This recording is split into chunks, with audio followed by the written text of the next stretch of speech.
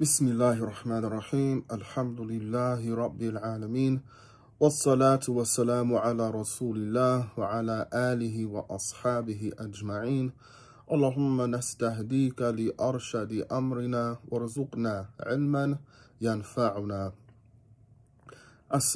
alaikum wa rahmatullahi wa barakatuh.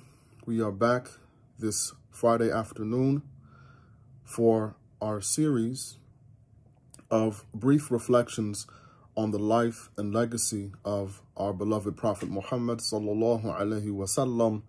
First, we did something of an introduction, and after that, we spoke of Dala'ilul Nubuwah, the proofs of prophethood.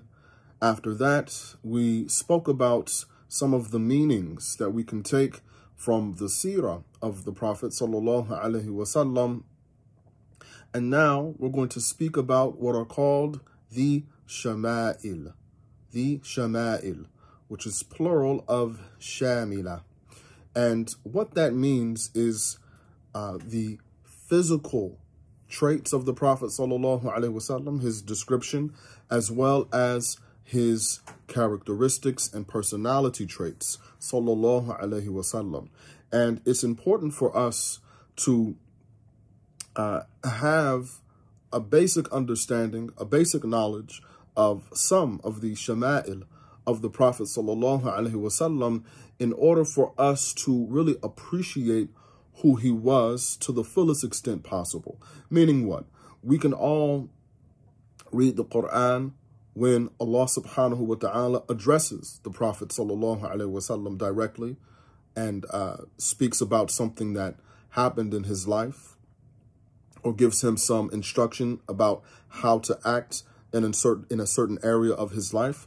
We can read some ahadith of the Prophet wasallam, whether his words or his actions or his tacit approvals being reported to us, but we won't get a picture of the Prophet wasallam in our minds and, and really imagine him as a real person until we know what he was like, both in terms of his physical appearance and how he acted with people.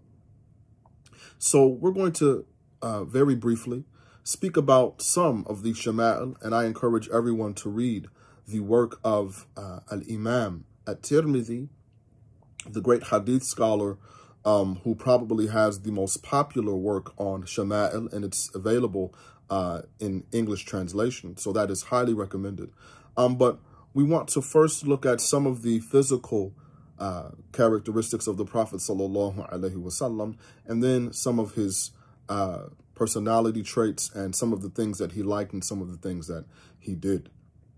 So the Prophet sallallahu alaihi wasallam was of the perfect height and the perfect physique, right? The perfect stature, sallallahu alaihi wasallam. All right, meaning that what he was not uh, excessively tall, right? Like we would say, uh, like a basketball player, right? Somebody that is, uh, you know, seven feet tall, right? That's exceedingly tall. The Prophet wasallam was not that, um, nor was he uh, abnormally short, all right? Short, nor was he shorter than average, all right? But he had the perfect stature, sallallahu wasallam, the perfect physique, all right? So it's said that he was uh, built, all right, well built, broad shoulders, sallallahu alaihi wasallam, and even in his uh, his older age, right? He the Prophet sallallahu alaihi wasallam passed away when he was 60 years old. He had a a flat uh, stomach, sallallahu alaihi wasallam. All right, he uh, was not very hairy. He had some chest hair and a line of hair going down, and some hair on his arms. His beard, sallallahu alaihi wasallam, was very thick, and it could be seen from behind, meaning that what some of the companions, they relate that we knew that the Prophet sallallahu alaihi wasallam uh, was reciting the Quran in the silent prayers because as we were standing behind him kind of from the side, we can see his beard moving, sallallahu alaihi wasallam. And uh, his hair was wavy, right? So if you if you consider everything about the Prophet sallallahu alaihi wasallam is uh, wasat, it's it's it's moderate, all right. So his hair was neither straight nor was it uh, tightly curled, but wavy, all right, and black hair, and he had just a few gray hairs, both on his head and in his beard, to where you could actually count the number. Um, the Prophet sallallahu alaihi wasallam, his complexion again, was one of moderation, the perfect complexion, meaning that he was not uh, very dark skinned, nor was he uh, very pale white, but uh, something in between. All right. So if we uh, are familiar with the typical complexion of the Arabs, they have brown skin.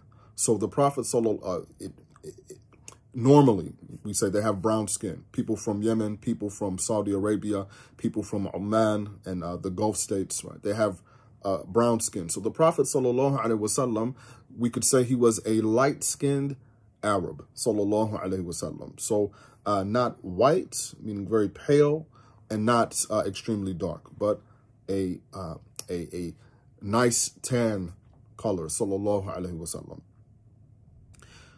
when it comes to some of the behaviors of the Prophet, wasallam, then he would walk fast.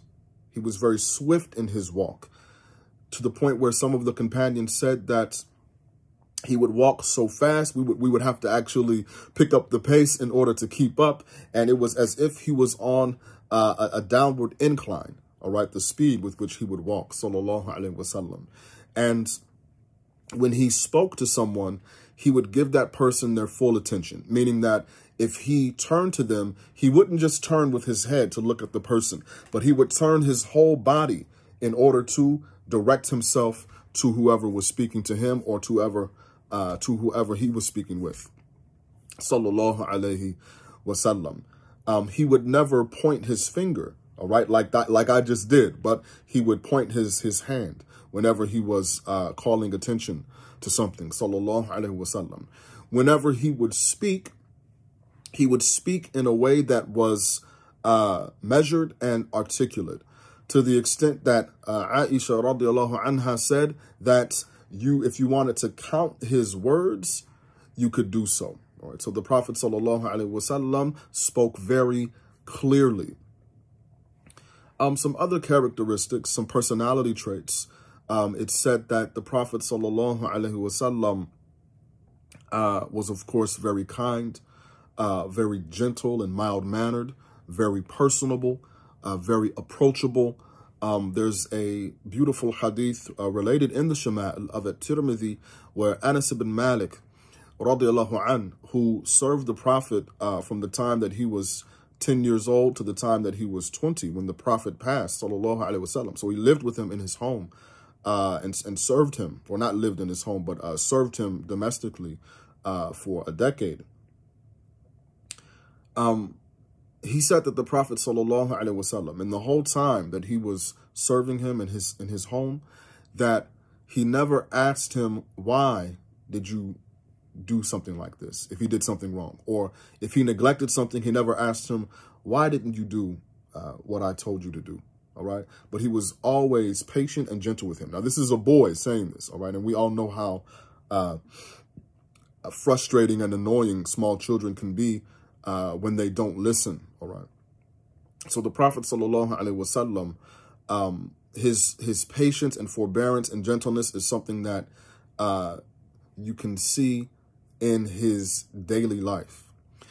Um, some other things that we can look at uh, and these are just of interest for those of us that want to follow, uh, some of the favorite foods of the Prophet Sallallahu Alaihi Wasallam. It's narrated that uh, he loved squash.